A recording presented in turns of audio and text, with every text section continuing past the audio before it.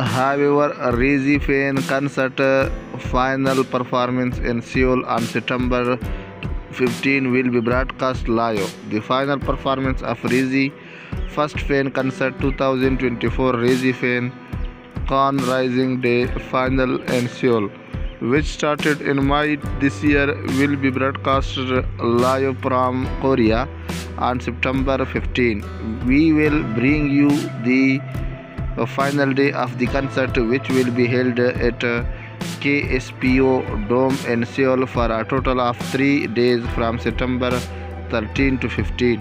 As it is the final of this tour, unexpected of uh, uh, fans are at an all-time night. If you want uh, more information about this topic, uh, then stay tuned with my channel. Thank you.